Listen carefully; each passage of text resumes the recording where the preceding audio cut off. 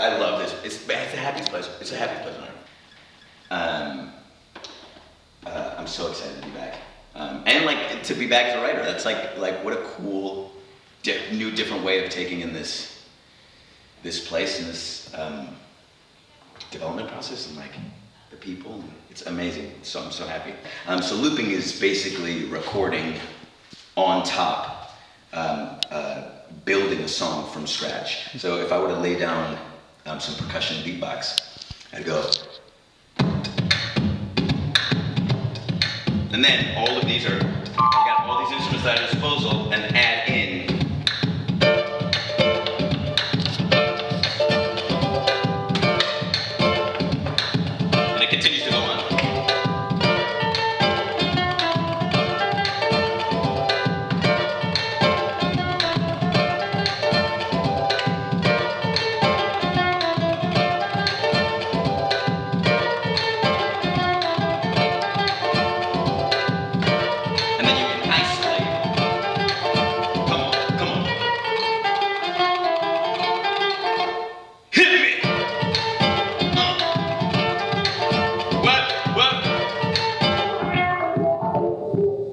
To the. Uh. Um, and so,